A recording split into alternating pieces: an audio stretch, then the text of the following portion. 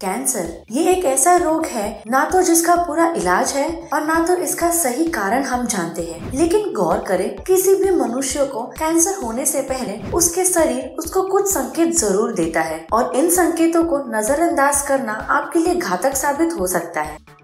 तो कैंसर के इन संकेतों को जानने से पहले और हमारे चैनल से लेटेस्ट अपडेट पाने के लिए हमारे चैनल आस्काई गुरु को सब्सक्राइब करना ना भूलें। कैंसर होने से पहले का पहला संकेत अंतों की समस्या।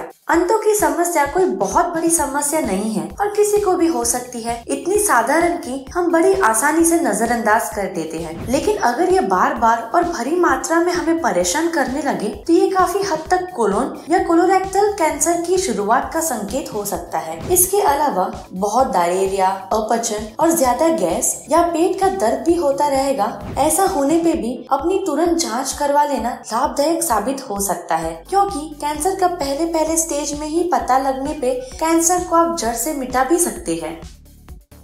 असाधारण रूप से मल मूत्र में खून का बहना। अगर ये आपको बहुत ज़्यादा भरी मात्रा में होता है तो शायद ये कोलोन कैंसर के लक्षण है। और अगर मूत्र में बहुत ज़्यादा खून बहने लगे तो ये प्रोस्ट्रेट कैंसर का लक्षण है। महिलाओं में मासिक चक्र के बाद भी अगर खून बहने लगे तो ये साधारण नहीं है। उन्हें इसकी तुरंत जाँच करानी चाहिए।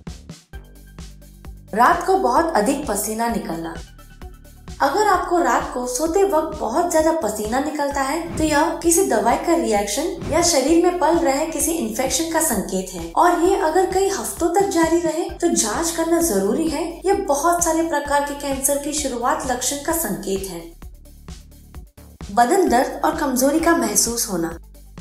काम करते वक्त सही ढंग से अगर हम नहीं बैठे तो कम पीठ और उसके आसपास की जगह दर्द करने लगती है। लेकिन लगातार और बेवजह दर्द करना कोलोरेक्टल और प्रोस्टेट कैंसर का संकेत है। अब बिना किसी वजह के बहुत ज़्यादा थकावट महसूस करने लगते हैं, ये भी कैंसर से जुड़ा हुआ संकेत है। इसे नजरअंदाज ना करें और अपने डॉक्टर को तुरंत संपर्क करें। वो इसकी जाँच करके कैंसर के अर्ली डिटेक्शन में आपका सही मार्गदर्शन कर पाएँगे। वज़न का अचानक से कम होना।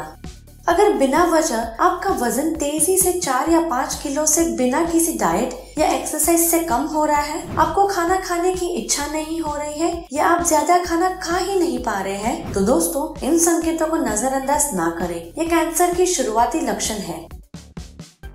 लगातार खांसी होना। सर्दी, खांसी होना एक आम बात है और धूम्रपान करने वालों को तो खांसी होती रहती है। पर बिना किसी वजह से लगातार खांसी होना चिंता का विषय है। ये बहुतेक लंग कैंसर की शुरुआत है। कभी कभी खांसी के साथ खून भी निकलता है और गले में दर्द महसूस होता है, जिससे खाना खाने में भी दिक्कत होती है। ऐसे लक्षण देखते ही आप डॉक्टर से संपर्क ज़रूर करें। सीने में जलन और अपच की समस्या। सीने में जलन या साधारण रूप से जिसे एसिडिटी कहा जाता है, ये आम बात है। ये ज़्यादा खाने वालों को या मसालादार खाने वालों के लिए बड़ी आम बात है। पर अगर ये लगातार होते रहते हैं तो ये परेशानी वाली बात है। जिसकी कोई खास वजह भी नहीं है तो कैंसर का लक्षण है।